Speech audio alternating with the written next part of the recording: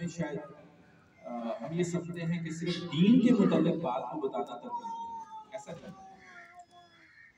दीन तो बुनियादी ज़रूरत है, उसके बगैर तो चारा कार ही नहीं है। वो तो कुछ, उसके अलावा कुछ हो ही नहीं सकता।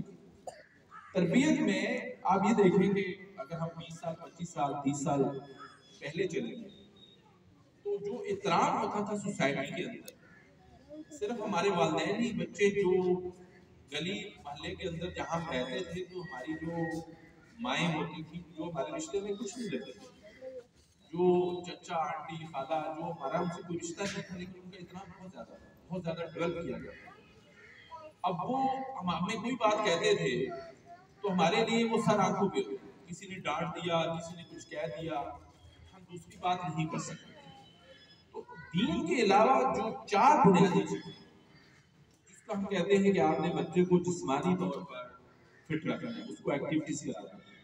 आपने बच्चे को जो है वो जज्बाती तौर जिस्मानी तौर पे खेल आप उसे पूरा मौका दें अब इमोशनल जो जज्बाती जिसको हम कहते हैं, अब ये क्या है?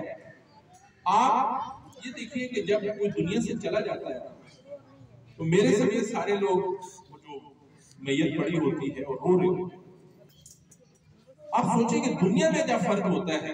मे बी जाती तौर पे एक्सपीरियंस हुआ बहुत साल पहले कि वो फ़र्क जो दुनिया से चला गया, उससे पूरा खानदान नाराज़ हुआ।